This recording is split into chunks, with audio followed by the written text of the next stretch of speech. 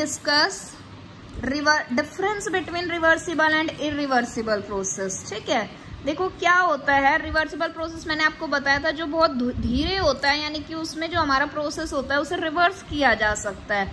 लेकिन irreversible process हमारा बहुत जल्दी होता है, उसमें कोई भी जो हमारा स्टेप होता है, उसे रिवर्स नहीं किया जा सकता, ठीक है? तो रिवर्सिबल के अंदर हम क्या कहेंगे? किसी भी स्टेज पे प्रोसेस के ड्यूरिंग इक्लिब्रियम डिस्टर्ब नहीं होता। इरिवर्सिबल प्रोसेस में क्या होता है? ये एग्जिस्ट करता है सिर्फ़ प्रोसेस कंप्लीट होने के बाद, ठीक है?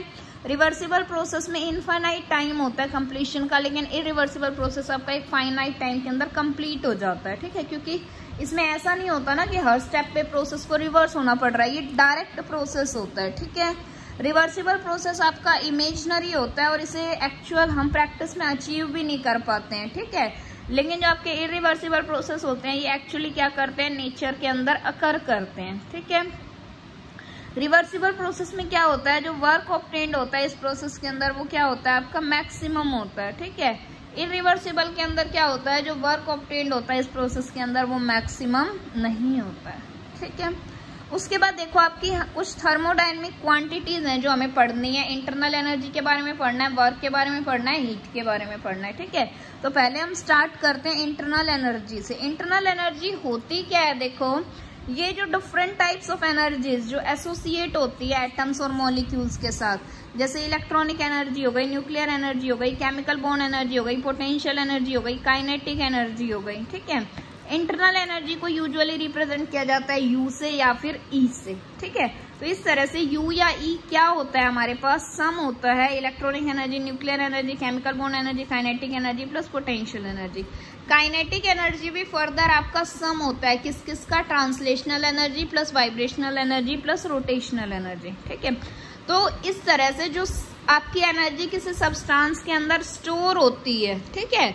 जो एनर्जी किसी सब्सटेंस के अंदर स्टोर होती है, वही क्या कहलाती है? उसकी इंटरनल एनर्जी कहलाती है, ठीक है?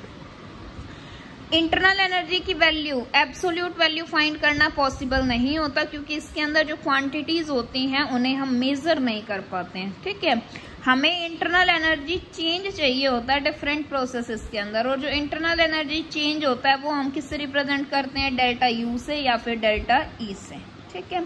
अगर हमारी इंटरनल एनर्जी इनिशियल स्टेट में यू वन है और फाइनल स्टेट में क्या है? यू टू है तो हमारा जो इंटरनल एनर्जी का चेंज होगा, यानी कि जो डेल्टा यू होगा, वो क्या हो जाएगा? U two minus U one हो जाएगा, ठीक है?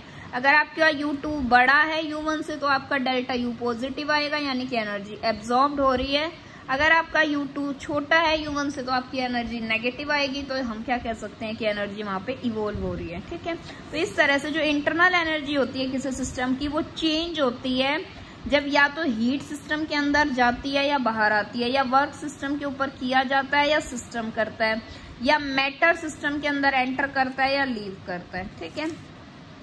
इंटरनल एनर्जी एक स्टेट फ़ंक्शन होता है, यानी कि आपको बताया था पहले स्टेट फ़ंक्शन क्या होता है, जो सिर्फ़ सिस्टम की स्टेट के ऊपर डिपेंड करता है और वो पाथ के ऊपर डिपेंड नहीं करता है, ठीक है? उसके बाद देखो कुछ पॉइंट्स हैं इंटरनल एनर्जी के बारे में। इंटरनल एनर्जी जो होती है, वो डिपेंड करती है सबस्टांस की क्वांटिटी के ऊपर, ठीक है? सबस्टांस की क्वांटिटी कितनी है सिस्टम के अंदर, उसके ऊपर इंटरनल एनर्जी डिपेंड करती है। तो इस तरह से ये कौन सी प्रॉपर्टी हो गई? हमारी एक्सटेंसिव प्रॉपर्टी हो गई है, ठीक है? इंटरनल एनर्जी जो होती है आइडियल गैसेस की, वो टेम्परेचर का फ़ंक्शन होता है।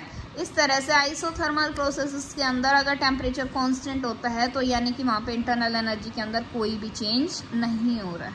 ठीक है? तो हम क्या कह सकते हैं वहाँ पे कि जो डेल्टा यू होगा, वो कितना हो जाएगा? आपका ज़ीरो हो जाएगा। ठीक है? उसके बाद हमारा नेक्स्ट होता है वर्क वर्क होता क्या है? वर्क होता है आपका फोर्स मल्टीप्लाई बाय डिस्प्लेसमेंट ठीक है? तो आपका क्या होता है, जो वर्क डन होता है फोर्स मल्टीप्लाई बाई डिस्प्लेसमेंट दो हमारे टाइप्स ऑफ़ वर्क्स होते हैं थर्मोडाइनमिक्स के अंदर जो यूज़ करने इलेक्ट्रिकल वर्क और वर्क ऑफ़ एक्सपेंशन या कंप्रेशन या फिर क्या बोल सकते हैं प्रेशर वॉल्यूम वर्क